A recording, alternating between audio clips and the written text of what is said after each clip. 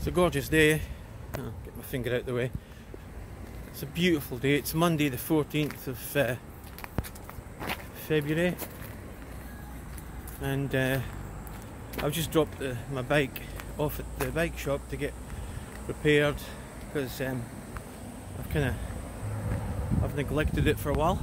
Um, partly because you know I had that damaged leg and stuff, which is okay now. And then I had this episode of um, where I had to isolate with Lou because we were close contact. Then then we both um, tested in the positive end of things, so that added to our um, isolation period. So basically, Lou and I were isolated for uh, two weeks, basically.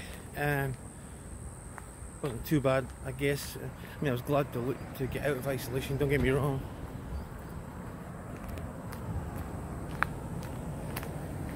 But uh, you know, I mean, I had what I needed: food and water and drink. Um, yeah, all those essentials were met. And you know, our place is pretty comfortable, so that was okay.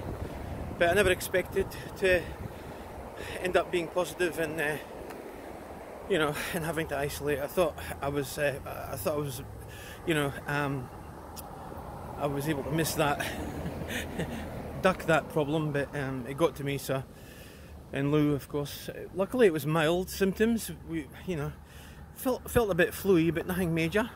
I've had worse colds, you know, actually. Um, I've had, you know, terribly sore throats and bad coughs, but this experience was really mild and I'm I'm sort of assuming it's because of the vaccines, actually, um, and the booster. So anyway, we've been out uh, we've been out of isolation since Saturday last, and um, yeah, we've been busy. We've been out. We've been to Hornsby, so kind of back to normal, I suppose. Although I can't go back to work actually until the 21st at local health district, because um, that's their own specific rule.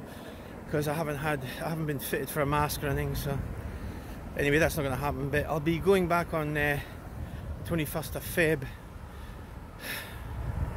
on happier things I guess Audrey our granddaughter has now had uh, broken through with two teeth uh, she's able to stand by herself in the independently well she holds onto the tables and stuff she can sort of walk around very wobbly but she can stand and she can walk a bit and also she started to crawl the other week which is um, another milestone so we're really happy Lou and I and of course Keith. Um, um, Keith's back to work. Well, Keith's working anyway, so I think he's in Marylands today. So we're doing quite well now, back on track now. I'm back to work at Budgie Boy, uh, my private work, but um, yeah, as I said, the local health district work will be 21st. Um, uh, yeah, that's really about it. I just want to get back to exercising. So with that, we'll just uh, leave it at that and um, yeah I mean if you want to give me a thumbs up or maybe even subscribe that's fine happy with that oh and actually we're coming to the tree. There's a tree. I don't know if it's got the flower oh no it hasn't got the flowers. Okay. There was that tree that got so many views. Oh my god it was like 70,000 or something or 80,000 even. I can't remember now views of a tree. But the tree I'm just coming up to the tree. But the purple flowers aren't, aren't out.